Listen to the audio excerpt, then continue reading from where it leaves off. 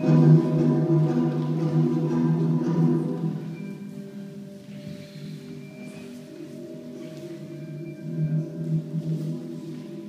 like nature. It's weird, like photosynthesis.